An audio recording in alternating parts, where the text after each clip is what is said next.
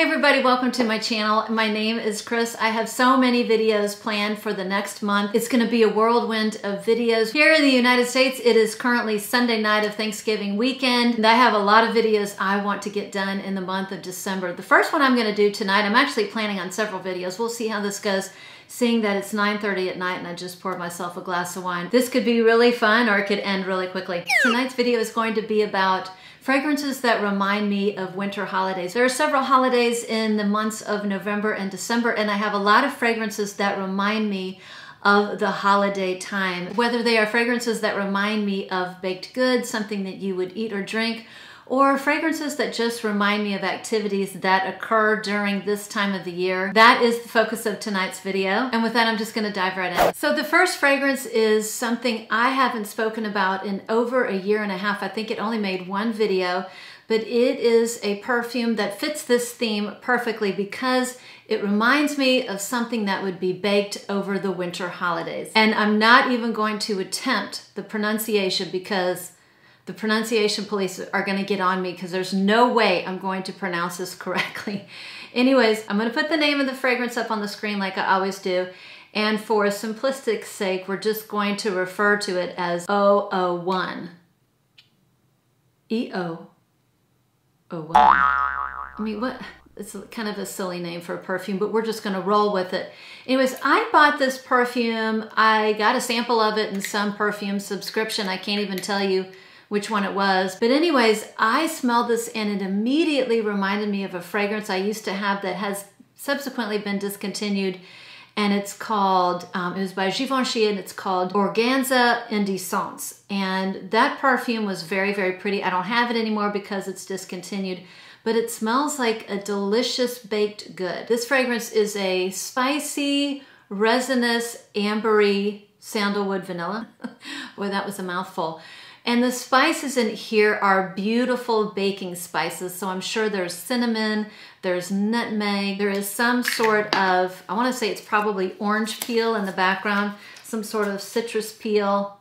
I think it's orange. It's usually orange. Yeah, it's orange peel. And it just smells like something you would be baking maybe Thanksgiving morning, the day after Thanksgiving, Christmas Eve, something like that. Very holiday, very warm. This one is sweet, but it's not overly sweet. It kind of reminds me of a glazed donut without the glaze, dusted with cinnamon and nutmeg. So a baked good that's not overly sweet. My only complaint with this one is longevity is not great. I usually get around four hours. It's on the quiet side, which would probably make it great for some sort of family gathering or something like that. You're not gonna overwhelm those around you. Okay, the next one is another gourmand that reminds me of the cold weather holidays and it is by M. Micallef and this is called Passion from their Secrets of Love collection. I tell you, I'm a big fan of these bottles and this is the fragrance that made me realize I don't need to be afraid of all ouds because this is a prominent oud,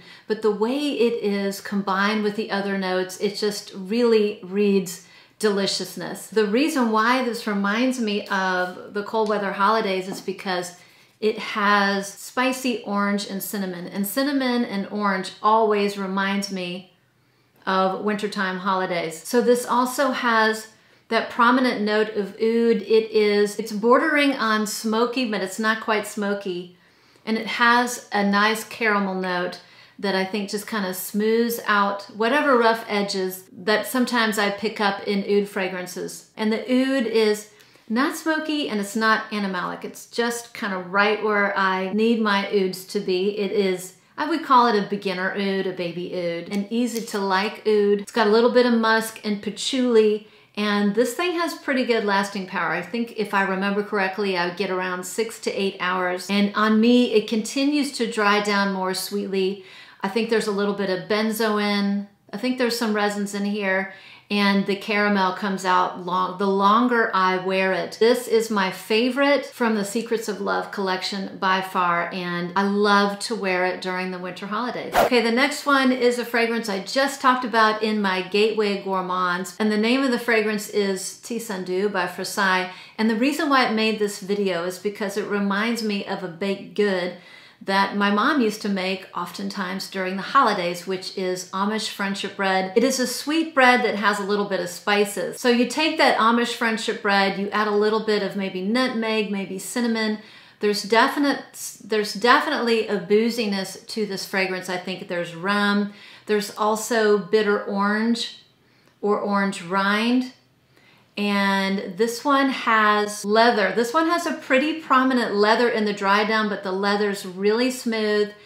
And it is gourmandy because of the brown sugar and the caramel notes, which brings it into the gourmand zone, but the leather keeps it from being too sweet. So I think for people who don't like their fragrances to smell overwhelmingly like food, this would be a great gourmand fragrance. This also has a slight freshness. Some evergreen note is in here. It is the slightest bit green and I get that mostly as it starts to dry down, maybe like an hour into the fragrance. A wonderful perfume that completely reminds me of the winter holidays. Okay, the next fragrance up is a fragrance that just reminds me of December because it is a very cinnamon forward fragrance and I'm always scenting the house around the holidays with things that smell like cinnamon, orange, or incense. And it's a longtime favorite of mine. It's called Megalium by Carner Barcelona. I don't think I've talked about this in maybe two years. Maybe two years, or maybe I talked about it if I did a winter favorites from last year. But, oh my gosh, this is so nice because I love the notes. I love pepper in a fragrance, so this has a prominent black pepper. I love cinnamon. This is a cinnamon balm. I love incense. There's incense in here and there's something woody in the dry down, but I definitely pick up like a cedar, some sort of cedar note. So cinnamon, nutmeg, pepper, baking spices, and woody notes just kind of remind me of the colder weather holidays. I just think it's perfectly unisex, but you do need to love cinnamon and incense to enjoy this fragrance like I do. And despite these somewhat strong sounding notes, this is not a powerhouse. I would call this moderate. So it has moderate longevity and is a moderate projector, but I adore this fragrance and nobody talks about it but the reason why I love it so much it has all the notes that I love to wear in the cold weather. Okay the next fragrance is absolutely the most gourmand fragrance of the bunch. This was going to be my scent of the day for Thanksgiving but it just wasn't cold enough here. We had kind of a warm snap on Thanksgiving. It was a little bit, it was warmer and it was rainy. And for me to wear this fragrance, it has to be freezing cold because it is sweet and it is a powerhouse. And it is Rose All Dae. If you look at the bottle, it looks like I haven't used it at all. And the reason is, is because I spray this one or two times. It is so strong and so sweet that if I, that if I sprayed more than that, I would probably choke myself out and choke others out. But this just smells like a baked something you pulled out of the oven on Thanksgiving Day, on Christmas morning, or some other winter holiday. So the notes are right on the bottle. There's apple crisp, plum, there's tonka, brown sugar. I know there's rose in here. I think there's a honeyed rose and it has this kooky note of stainless steel, which I've talked about in the past. To me, kind of gives it a texture. So you have all these warm notes, like a really piping hot dark fruit pie that just came out of the oven. And the stainless steel note just gives it a coolness. It kind of balances it. And I'm telling you, if it wasn't for the stainless steel note, this would be a cavity inducer. I do like to wear it every once in a while. It's always usually November, December on a really, really cold day when I feel like wearing a sweet gourmand. And this is one of the sweetest gourmands I own. Okay, I'm gonna do a little change up from the gourmands. The next fragrance is Après by Ellis Brooklyn. And the reason why this made my video is because this smells like a winter vacation. This smells like you are in a freshly or recently built log cabin made of cedar and you are sitting outside and it just snowed. You're just taking in the environment. So there is a super strong cedar note. I get that for sure. There's also juniper and juniper berries. That's pretty strong. There's a whiskey note, which is, so it's a dry, non-sweet booziness. And there is saffron and leather, which brings in some of the more dry elements of the outside. So When it's warmer outside and I wear this, I get more of a sensation like you're in the mountains hiking during the summer. And when the weather's cold or if it's particularly rainy, this fragrance somehow transforms into a snow filled day. Sitting outside on the deck, drinking a whiskey on ice with a sprig of juniper and it just snowed. So you're taking this all in. It's just really natural. It's a green fragrance. It's a very fresh fragrance. Just smells like you are on a vacation. You went away for the holidays. But to enjoy this, you must love the note of cedar because it's pretty much a cedar balm and I enjoy the note of cedar so I really like this fragrance and it's a nice break from a lot of the heavy gourmands that I tend to wear in November and December. Okay, the next one we all know about, but this fragrance, gosh, I haven't talked about it probably in a year. I only wear it during November, December, and maybe the beginning of January. It just smells like winter holidays to me and it is Angel Share. This is a very boozy fragrance. So it has cognac, there's cinnamon, there's oak, tonka and everything together just reminds me of like a naughty apple pie. An apple pie that's infused with cognac. You snuck in the cognac and you made an apple pie. This one continues to get sweet in the dry down. It has praline and vanilla and a little bit of sandalwood. So there's just a little bit of woodiness to kind of anchor this overly gourmand fragrance. It's delicious in the cold weather. It's too sweet for me in the warm weather. And this just reminds me of maybe Thanksgiving, Christmas, or New Year's Eve. I think this was my New Year's Day fragrance last year, but it has to be really cold for me to wear it. There's something light and heavy at the same time. This has a lot of sweet, heavy notes, but when I wear it, it has a lightness to it. It's not completely overpowering, but because it is so sweet, I only wear it during those winter holidays. The next one I was gonna talk about is By the Fireplace. And I only have a little travel spray. I've shown it in other videos and I left it upstairs and I'm too lazy to go get it. But the reason why I think it's a great fragrance for this category or perfumes that work well during the winter holidays because my neighbor, the day after Thanksgiving and the day after Christmas, always has a big neighborhood bonfire. So everybody goes over to his house and roasts marshmallows, and it's just something that's really fun. It is a memory that I associate with the cold weather holidays, and by the fireplace completely encapsulates that fun activity. You know, it is a, I kind of refer to it as a watered down or a toned down version of Lune Féline. It's not quite as spicy, it's not quite as strong, but it's still a spicy, woody, nutty vanilla. It smells like you were standing by a fire pit and people around you were roasting marshmallows with chestnuts. Maybe they made a chestnut marshmallow s'more because that's what it smells like. A very sweet fragrance and perfectly suited for the months of November and December. Okay, speaking of By the Fireplace, if you think By the Fireplace is too sweet, this next fragrance might be the perfect compromise. It is Gaiac by M. Micallef. So this, to me, is a beautiful, smoky, woody vanilla with a heavy dose of cloves. So anything that has cloves in it, maybe vanilla cloves and something woody, I just think of winter holidays. This fragrance just has a winter holiday warmth to it. And I find it very comforting when it's cold during November, December. I've got a big chunky sweater on. It's cold outside. Maybe it's snowing. Maybe I don't have to go to work and I'm doing a Netflix marathon under some covers. It's just perfect for this time of the year. I enjoy it because I love all the notes in here. I like cloves in a fragrance and I like a woody vanilla with a little bit of smokiness to it. And this is just what that fragrance is.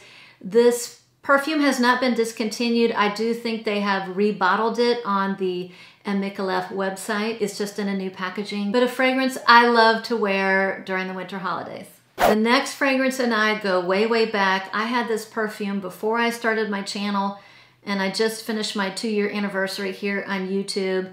I adore this perfume and it completely reminds me of the cold weather months. It is called Ambre de Alexandrie by Boucheron. This is a beautiful gourmandy amber. This smells like a cinnamon apple pie, a boozy cinnamon apple pie with a little bit of tobacco. Delicious fragrance. The tobacco in here gives it a of dryness. It kind of pulls it out of the two sweet zone. When I first got this, I actually had Ambre Narguilé by Hermes. I had that bottle. It was given to me as a gift and I thought the two were very similar. They're very similar. This one isn't a dupe, but this is about a fourth of the price. I think I paid around a hundred dollars for this no more than $125 and this is well over four ounces so i still adore it i think it's delicious and this was the perfume that my daughter wore when we went we were leaving for mass and we had a guest from the netherlands stay with us for a couple weeks and he stopped in the foyer and said it smells like an apple pie where who smells like an apple pie and it was because my daughter was wearing this fragrance so I have worn it before and people tell me I smell like an apple pie. It is just a delicious gourmandy amber fragrance that I adore and love to wear this time of the year. Okay, this next one I am obsessed with. I have posted it several times to Instagram and I think it only made one prior video of mine. Uh, I think it was my hidden gems I did at the end of the summer.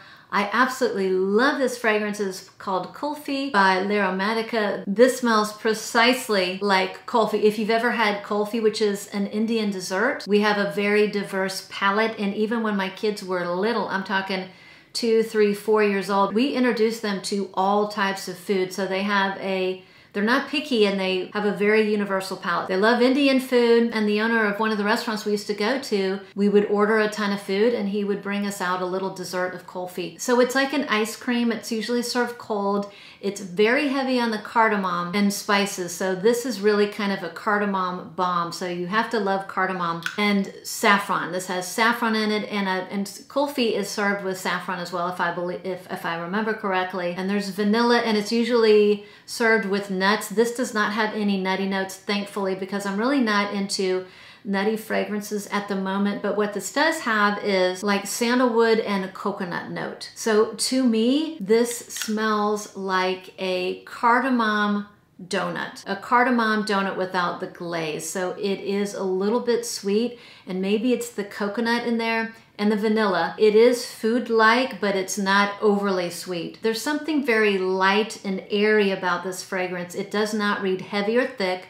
So that's why I every time I wear it, I think of like a cardamom donut, like a cardamom glazed donut without the glaze. Very puffy, very light, very airy, but still very spicy. In fact, my mouth is watering thinking about a cardamom donut because that's exactly what this smells like. But this is perfect for this time of the year. I have worn it once in the hot weather. It wasn't bad, but this fragrance is just perfectly suited for these colder months. I love this so much. I'm just so surprised it doesn't get more airtime because it is absolutely scrumptious. Getting towards the end, the next one is a fragrance that just came out. It is called Venom of Love by Navitus Parfums. And the reason that this made my list is because this opening, at least the opening, reminds me of a cherry cordial. This is a boozy cherry cordial. My oldest brother loves cherry cordial. So to this day, I still buy three boxes of cherry cordials wrap them up and send them to him for Christmas. And so anytime I smell a cherry cordial, I always think of Christmas and I always think of my brother. This has, if you love the note of chocolate and cherry, this has an opening to die for. Interesting thing is, is that I've always been a huge gourmand lover. And this year, I haven't been reaching for my gourmand fragrances as much as I have in the past around this time of the year, I've been reaching for, been more into my woody perfumes, woody perfumes and incensey fragrances. As a gourmand lover, I can still appreciate a well-made gourmand, and this has a very realistic cherry chocolate opening. So the cherry in here is very boozy, it's done very well, and accompanied by a dark chocolate that's sweet and decadent and I get this opening. The chocolate lasts for a couple hours for sure. As this dries down, the cherry fades, the chocolate fades, it, I get just like a peep of rose, like a skosh of rose, and it dries down into a sweet, almondy, vanilla, woody perfume. This fragrance is a powerhouse.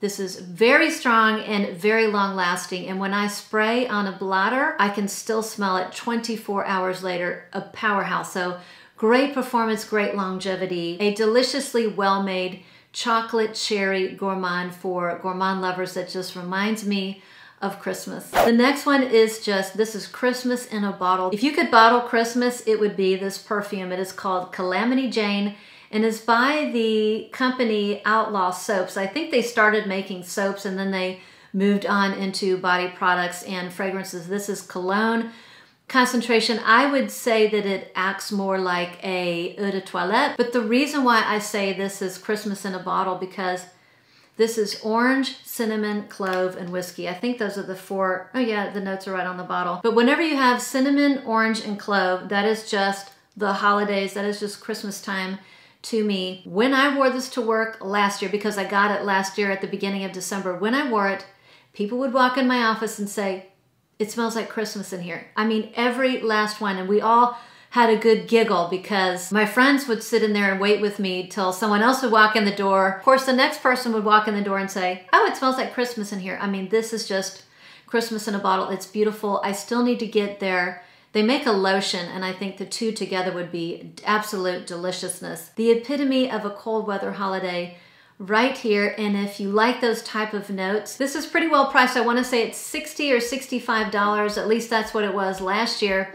And I really enjoy supporting these smaller indie houses. So that was it. I don't know how many fragrances that was, but in one way or another, these fragrances to me are just holidays in a bottle and I love to wear them during this time of year. So guys, thanks again for stopping by. If you have any fragrances that match that theme, I'd love to hear about them in the comment section below. And with that, I will see you on the next one, which will be in about five minutes because I'm going to film another video. it's 10.30. Oh, it's gonna be a long night.